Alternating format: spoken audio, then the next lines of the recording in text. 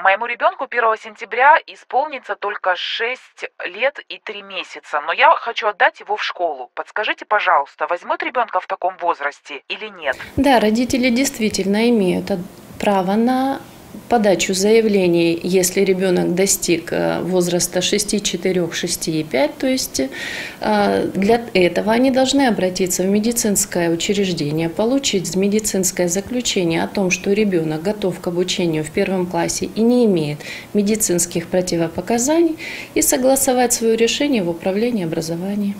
Они приходят в управление образования в кабинет 513, подают заявление, прилагают медицинскую карту ребенка, либо справку о медицинском с указанием состояния здоровья и готовности к обучению в первом классе. Дальше накладывается резолюция, резолюция на заявление, и такая категория учащихся принимается на свободные места с 1 июля.